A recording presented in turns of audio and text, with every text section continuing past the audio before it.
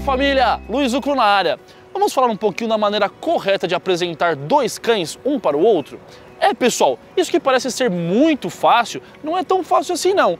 E posso te falar com certeza, tem muito cachorrinho por aí que não sabe nem se aproximar, nem chegar perto um do outro, certo? Por medo, por não saber ser sociável, por até mesmo ser um pouco agressivo, tudo isso aí pode prejudicar muito nesse primeiro contato entre dois cães que nunca se viram por aí. Pessoal, esse processo que na natureza não acontece com tanta naturalidade, isso porque um encontro de um cachorro errante, sem bando, sem família nenhuma, com uma família já bem estruturada, vai gerar um belo de um quebra-pau.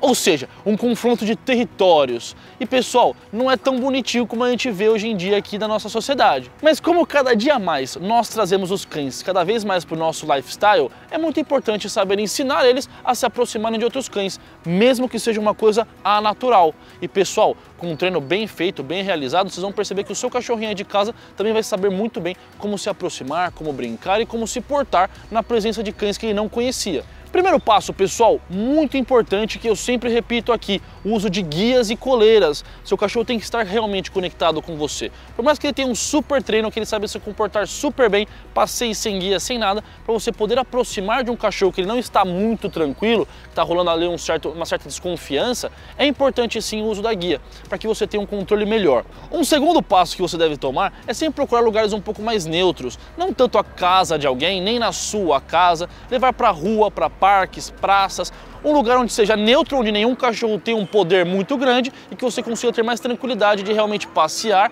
e aproximar de outros cães.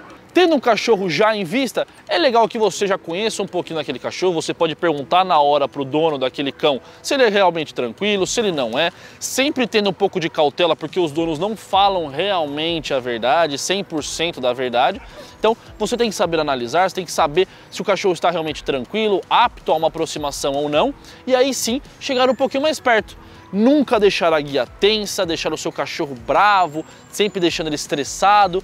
Evite esse momento de tensão simplesmente pelo fato de a gente estar tranquilo. Saiba o que fazer, saiba como agir.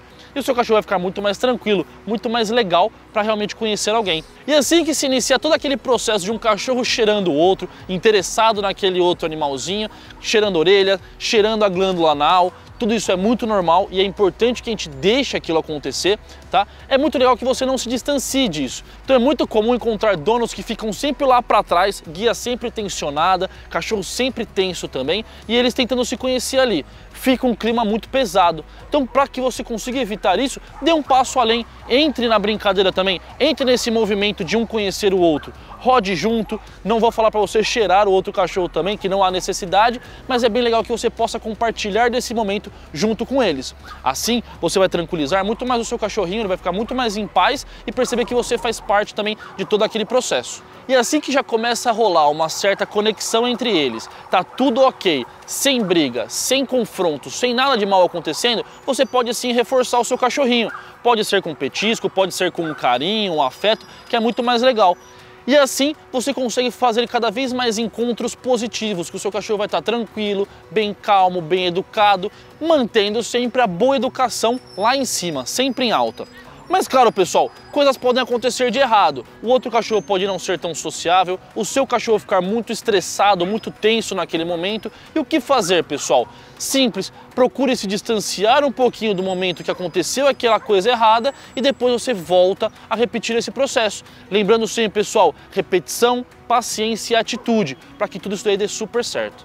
E é isso aí, pessoal. Agora chegou a hora de vocês praticarem tudo o que eu passei aqui no vídeo com muita repetição, paciência e atitude e ter o êxito em como aproximar dois cães da maneira correta. Não deixe de se inscrever aqui no canal e acionar o sininho de notificações para ficar por dentro de todo o conteúdo que eu passo aqui para vocês. Não deixe de acompanhar todo o meu trabalho pelo Facebook e pelo Instagram e também acompanhar nossas conversas pelo grupo do WhatsApp. O link vai estar aqui na descrição para todos vocês poderem acessar. Também não deixe de comentar aqui o que vocês já passaram, coisas positivas, coisas negativas que já aconteceram na aproximação entre dois cães na sua vida. E é isso aí. Vejo vocês no próximo vídeo aqui do canal. Tchau, tchau.